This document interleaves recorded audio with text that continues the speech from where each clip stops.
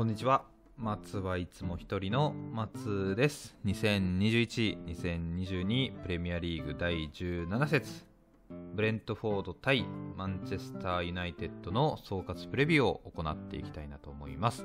えー、こちらのラジオはただいま紹介しました試合の大きなネタバレを含む内容を話すラジオになっていますので試合内容結果等を知りたくないという方は一度ラジオを止めていただいて試合をご覧になられた後にもう一度こちらのラジオに、えー、お越しいただければなと、えー、思います。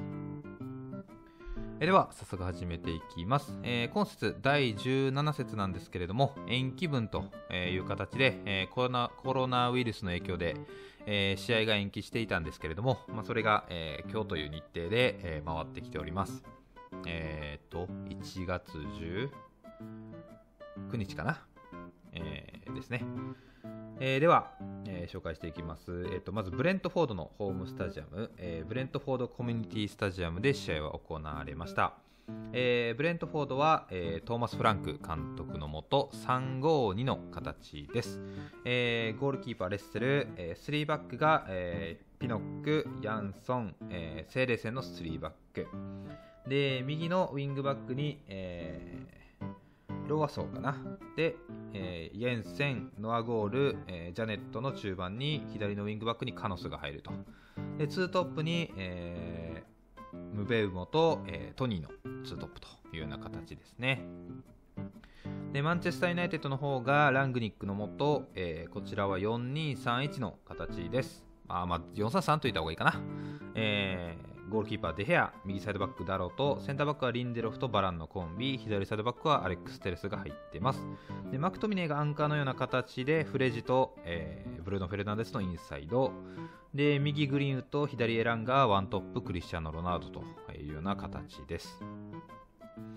では得点シーンですね後半54分ユナイテッドが先制点を取ります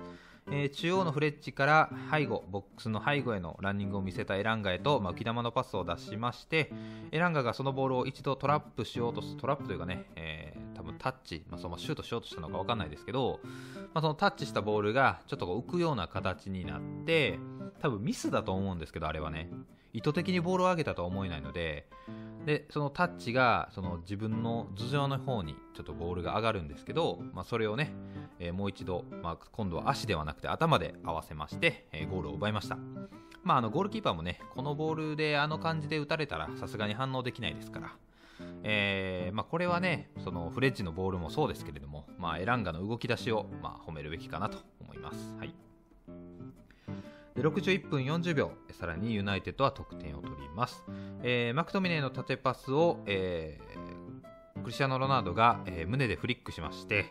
え胸というか肩だったかな。でそのフリックしたボールに、えブルーノ・フェルナンデスが、まあ、受け取り、え抜け出しまして、えー、ゴールキーパーと、えー、あとラッシュフォードかな、あごめんなさい、グリーンウッドか、と、えーまあ、2対1の状況になりまして、えーまあ、ギリギリまで引きつけてグリーンウッドへパスを出し、まあ、本当に冷静にグリーンウッドは沈めるだけと。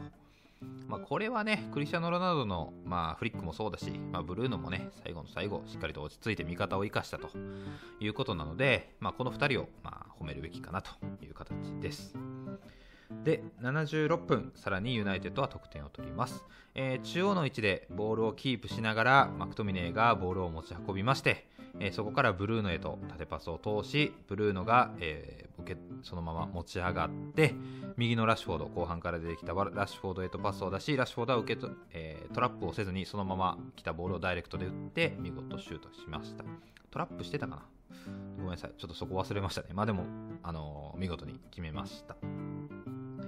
で84分、えー、ブレントフォードは1点取り返します、えー、セーレンセンのロングスローでボックス内に、えー、セーレンセンロングスローめちゃめちゃ得意な選手なんですけれども、えー、投げ込みまして、えー、中でちょっとごちゃごちゃっと工作するんですけれども、まあ、工作してこぼれたボールを、えー、フォワードのトニーが、えー、詰めてゴールを奪いました、えー、といった形で試合は終了しまして合計スコア1対3という形でマンチェスターユナイテッドが勝利しました、えー、では各チームのお話に行きたいなと思います。ではまずホームのブレントフォードの方からいきます。えー、ブレントフォード、まあ、前半の初めの方かな、10分ぐらいまでだったかな、えー、基本的にね、ハイプレスを仕掛けてきてました。なんですけど、まあ、徐々にこうブロックを敷くような形になってこうハイプレスっていうのはほとんどしなくなりました。多分まあ勢いというかあある程度相手を困惑させるために、まあ、前半はアタックしに行こう。前半の初めはまアクションを起こしていこうっていう、まあ、多分トーマス・フランクの狙いだったのかもしれないんですけども、まあ、結構そこがねあのユナイテッドを苦しめてましたし僕からするとなんでそこでブロック組んだんだろうなとは思うんですけどもうそこでね、えー、ボールを奪い切って、えー、ショートカウンターで得点を決めるみたいなシーンも、まあ、ブレントフォードの選手たちだったらできると思うしなぜそこでちょっとこう引いてしまったのかなっていうのはちょっとこう疑問符ではあるんですけれども、まあ、あのユナイテッドの特徴を考えたりとか、まあ、ユナイテッドのその、まあ、成熟度チームとしての成熟度を考えるとまあどちらの策を取ったとしても、まあ、別に問題は問題はというかかこうユナイテッドのそのなんていうかな、まあ、欠点が両方出るんで、まあ、ラインを低くしたとしても、ハイプレスを仕掛けたとしても、仕掛けなかったとしても、ユナイテッドはこう、どちらの状況でも苦しい状況になるので、現状ね、チームの成熟度的にも、連携の部分でもね。なんで、まあ、一概にその、こう、ブロックを組む、えー、ちょっとハイプレスを仕掛けないっていうことが悪いとは言えないんですけど、僕は正直、ある程度ハイプレスえ、時間をかけて使って先生の先生パンチを食らわすことができたのであればその後、えー、例えばブロックを引くような形だったり、まあ、そこからカウンターを狙うとかだったらまだね、えー、分かるんですけど結構もう初めもう本当に最初だけだったので、まあ、そこはね、まあ、どういう意図があったのかな。もうよりこうトニーとか、えーえー、ムベウモか。だったりとか、まあ、こういった選手の特徴をもっとこうショートカウンターとかロングカウンターで、えー、出したかったのかなとは思ってるんですけど、まあ、現状そこでもあまりこういい場面っていうのはあまり多く作れていなかったなっていうのは印象にあるので、まあ、ゴールに迫るシーンはまあもちろん多かったんですけどでもまああの今のユナイテッドだから通じるというかあのなていうのかな成熟度的にもこう結構曖昧なプレーが多いので今のユナイテッドは。まあ、だからこそっていうのもあるのかもしれないですけど、まあ、決定的なシーンを決めきれなかったっていうのはこのブレントフォードが敗北した大きな要因ですね。これはまあ否めないと思うんですけど形は作れてるのに本当に最後の最後だけ決めきれないみたいなとか最後の一瞬もうそこれを決めきったらもうユナイテッドも落ち込むねんけどなみたいなシーンを、まあ、デヘアに防がれたりとか、まあ、あれはデヘア褒めざるデヘアをね褒めざるを得ないですけどまあでもあのまあ、構える形っていうのもいいですけど、もっと僕、個人的な意見を言えば、まあ、もうちょっとアタックしに行ってほしかったなと、え、守備の場面ですね、えー、思いました。で、まあ、その、アタックをしなかったことで、まあ、ある程度ラインは、えー、低いわけじゃないんですけど、まあ、中央、センターラインあたりで、まあ、フォワードが構えるような形かな。で、まあ、構えるんですけれども、まあ、人をかけた攻撃も行うし素早いアタックっていうのをしっかりと意識づけた中で攻撃は行ってたので、まあ、間違いなく監督が指示してるっていうことは、まあ、ここでは分かるんですけれども、まあ、ここでというかまあ分かるんですけど、まああのまあ、そこでチャンスシーンをまあ作ってたからいいもののやっぱりねあのツートップの連携の部分だったりとかちょっとこう意図が合わない部分っていうのがね結構気になったので。まあ、その辺はね、まあ、時間をかけて修正していくこととか、まあ、あのこの2人の話し合いとかね、まあ、そういった部分で、まあ、共有されていくものだと思うので、まあ、時間が解決してくれるはずですけれども、まあ、結局は個人のね、えー、その意識の問題にもなるだろうし、まあ、この辺はどうしていくかはね、まあ、この先、えー、ブレントフォードがどういうフットボールを行っててそこにこの2人がどういう風な絡みをしているかによって分かってくる行動なので、まあ、基本的にはねトニーが、えー、攻撃では軸になることは間違いないとは思うんですけれども、えー、ムベウボーンね、えこれからこのブレントフォードで軸を担っていくのであればやっぱりこうなんていうかな、まあ、自分の個の能力に頼らない。うん、やっぱり周りと連携しながらどういった形で攻撃を作っていくのかっていうのも、えー、特にトニーとねツートップを組むのであれば、まあ、もうちょっとね、えー、コミュニケーションをとって形を作ってもらえたらいいんじゃないかなとは、え、思います。では、えー、ユナイテッドの方に行きますと、えー、基本的にまああのブレントフォードが、えー、初めプレスをかけてきたって先ほども紹介したんですけど、まあ、それをかわす術もないし、まあ、ビルドアップの形も基本的にはあんまり多くないと。で、まあ、フレッチがちょっと高めの位置でマクトミネがねバランスを取るような形でアンカーのような立ち位置を取ってたんですけど、まあ、マクトミネのキャラクター的にボールを持ってこうドリブルで持ち上がるとかこうサイドチェンジを多用できる選手ではないので、まあ、キャリックのような選手ではないので、あのー、ね、いわゆる6番タイプではないですけれども結構その局面的な部分でマクトミネが効いてるなっていう部分もあったし、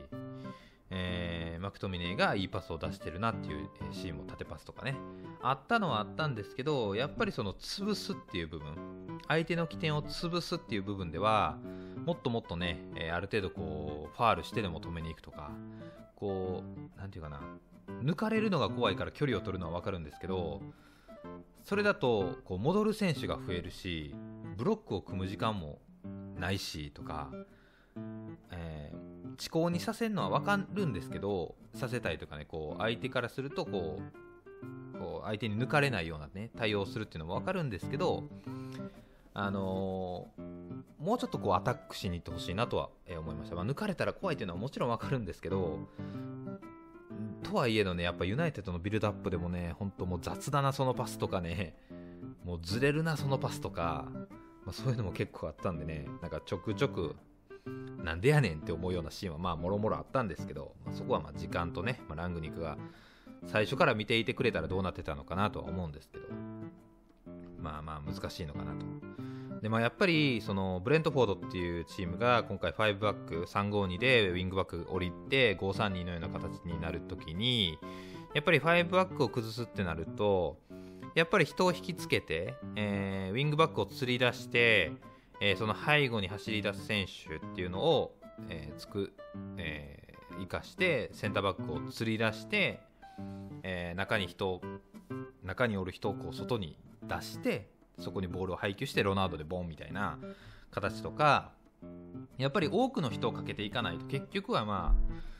ああのただただこう人間が走ったらいいだけではないんですけどもちろんね。ただちゃんとその意図的な、え崩しやっぱこうちゃんと人数をかけてある程度リスクをかけた中でこう相手をま引き出して外す引き出して外すとか。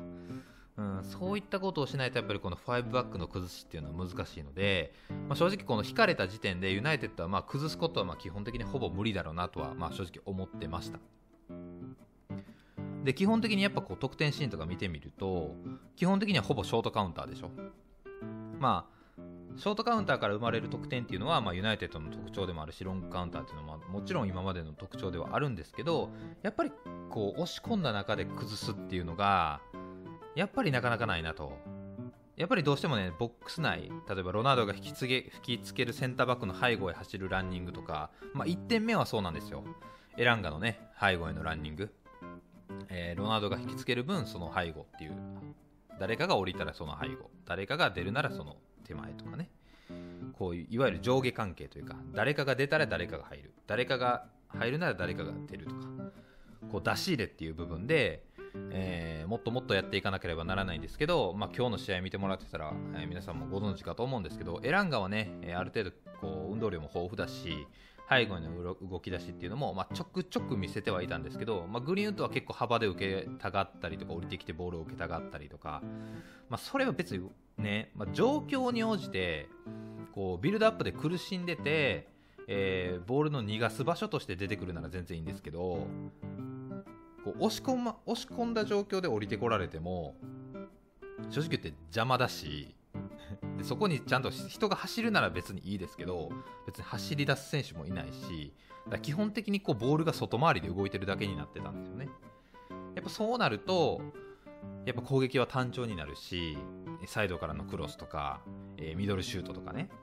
でミドルシュートも、えブロックを組まれた状況でミドルシュートをこう無理くり打つような状況になってしまうのでやっぱりこうねブルーノだったりとか、えー、まあ、フレジだったりとかマクトミネとかねこのせこの辺りの選手、まあ、グリーンウッドもそうですけど中に入ってきてね、えー、ミドルシュートを打つっていう状況にするんであればやっぱある程度フリーな状況だったりとかこう冷静に打てるようなシーンっていうのこう無理にシュートを打つようなシーンっていうのをあまり作り出さない作らせないっていうような状況をやっぱユナイテッドとしては攻撃として作らないとダメなのでそういう仕組みっていうものをね。でも、えー、外回りになってるようなボックスの外をずっとこうボールを回してるような状況っていうのが、まあ、試合を通してま多かったかなという印象があるので、まあ、この辺はね、えー、まあ、モーリーニョもそうですけれども、まあ、スールシャルもそうですけれども、ま、ずっと続いてることなので、えーま、ラングニックも、えー、修正してくれるはずなんですけど、ま、現状途中就任ということで、ま、難しいのは分かりますやっぱり。ただやっぱりそのなんていうのかな、まあ、スパーズのコンテと、ま、見比べるとうんやっぱりあれだけ運動量を持って強度も持ってブロックもソリッドになってると。まあそのいわゆる守ってカウンターっていう形を多く、まあ、コンテのスパーザー対応してるんですけど、まあ、ちゃんと押し込んだ中でも形を作れたりしてるのはしてるのでこの短い期間でね。ってなるとやっぱりまだちょっとラングニックねやっぱこうビッグクラブを率いたことがないっていうのがねまあちょっと足かせになってるのかなとやっぱこう個性が強いですしうんタレントの起用を見てもやっぱクリスチャンノ・ロナウドを使いたいの分かるし、まあね、こう自分の使いたい、まあ、運動量があってとか、まあ、攻撃力があってとか、えー、そういう選手を使いたいっていうのも分かるんですけどやっぱりねその気になるのはやっぱグリーンウッドの立ち位置だったりとか、まあ、シュートとかはすごくうまいんですけど、まあ、その守備の緩慢な部分だったりとかそこのそこのコース切ってないんかいとかそこのスペース埋めてないんかいみたいなこととか、まあ、多いしうんでまあビルドアップでも形がないと、うんまあ、本当にちゃんとそこを降りて、えー、味方がこう出し出し手の選手が、えー、受け手の選手、まあ、だから受け手の選手の動きですね。ちゃんとこう出し手の選手をサポートこうちゃんとコース通るコースにの立ち位置にずっと立ってるんではなくてちゃんとこう出せるような状況になった時にいてあげるとか、まあ、サポートしてあげるですね。っていう状況ももっともっとこう意図的に、えー、作っていかないとダメだしただただでもそれだけだとボールを押し込んで、えー、ボックス内にボールを送り込むっていうことも、えー、そのクロスだけになってしまうとかってなるのでクロスを使うのであればやっぱりこう相手をこう後ろ向きな状況にさせた上でクロスを上げた方がやっぱチャンスになりやすいしゴールも生まれやすいんでやっぱりブロックをこうカチッと固められてこう前向きな守備をされてる状況でクロスを上げたとて相当なピンポイントのクロスを上げない限り決まらないですからいくらロナウドがいたとしてもね。しかもロナウドってやっぱこうワントップっていう形でもう何度も言ってますけど起用するのは僕は間違ってるとずっと思ってるんで基本的には誰か相棒がいて、まあ、その相棒の周りでこう動きながら、まあ、自分の得意なスペースだったりとか、まあ、感覚っていうもので得点を取る、まあ、いわゆるボックスの中でどれだけ勝負をさせるかっていうのが重要になってくる選手なので、まあ、そこまでの仕組みっていうので、えー、周りの選手たちがどういう風にボールを持って持ち運んでくれてどういう風に崩してくれるかそのブロックをずらしてくれるかっていうのが、まあ、大事になってくるんでもともとやっぱりこう守備の強度っていう部分でなかなか期待ができないっていう部分で、まあ、ロナウドを獲得してしまってるので、まああのねまあ、もちろんスターですから得点力もね半端ないですけれどもやっぱそのなんて言うんだろうな、まあ、メッシもそうだし、まあ、ユベントスといったディバラとか、まあ、こういう選手に、ま、関連するんですけどやっぱ守備っていう部分であまりこう貢献できない計算できないような選手を起用するとやっぱ周りの選手の負担っていうのが相当大きくなるし周りの選手たちがどれだけこうハイレベルな、ま、組み立て監督を含め、え、できるかっていうのがやっぱ相当重要になってくるのでまああの今日の試合に関しては、まあ、勝ったのは勝ちましたけれども、まあ、ブルーノを経由しなかったら攻撃がなかなかうまくいかないとか、ね、時折中でロナウドが孤立してるとかでサポートがあまり来るのが遅いとかっていうことが、まあまだまだ全然あるんで、まあ、ラングニックをま擁護するんであれば、まあ、シーズン途中でね、えー、いきなりそのラングニックが行いたいことをやるっていうことはま難しいと思うし、まあ、今まで取ってきてる選手がね監督もバラバラで欲しいっていう選手もバラバラだから、まあ、在籍してる選手の個性のもバラバラだっていうのもまあもちろん分かるんですけど、まあ、擁護するって言ったらその辺ぐらいで、まあ、基本的にはその戦術の部分では、まあ、いい部分もまあ時折見せるんですけど、まあ、欠点も相変わらずしっかりと見せてるような監督ではあるので現状ね、まあ、これから先その内部、まあ、フロントの方にまあ入るので来シーズンになるとね。まあ、監督を引き続けるってなると、まあ、あのプレシーズンから見るわけなので、まあ、その連動の部分、えー、熟成度といったらいいのかな、まあ、チームとしての成熟度か。がまあどれだけなるのかっていうのはもし引き続けるならまあそこをしっかりと見させてもらって、まあ、しっかりと、ね、評価はさせてもらいますけれども、あのー、現状、まああのー、采配の部分とかを見ても、あの結構メリハリはしっかりしてる監督なのでもうそこはめちゃめちゃいいと思うんですけど修正力っていうのはそこまで高いとは僕は思わないので、まあ、現状このままいくのはちょっと危険性があるので、まあ、来シーズンやっぱりね新たな監督をつけてくるべきなんじゃないかなと思います。はいといった形で試合は終了という形で、まあ、ラジオも終了という形なんですけれども、えー、皆さんね、まあ、見られた方、特にユナイテッドサポーター、えーブレントフォートのサポーターの方々見られた方多いと思うんですけれども、ぜひね、えー、こういうこの試合の、まあ、思ったことだったりとか、何かコメントがあればお寄せしていただければ嬉しいです。あの僕もね、あの皆さんとお話ししたりとか、皆さんからこういただける意見っていうのを聞いて、よりこう自分も知識をつけていきたいなと思うし、やっぱりこうサッカーの友達っていうのが僕ほとんど本当にいないので、やっぱこう話せる友達が欲しいんですよね、シンプルに。だからあの寂しいやつやと思ってコメントください。はい。ということで、えー、以上になります。ぜひ最後にチャンネル登録も、えー、よろしくお願いいたします。ご視聴ありがとうございました。